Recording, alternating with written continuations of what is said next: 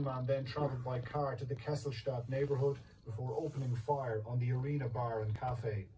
A further five people were killed and a number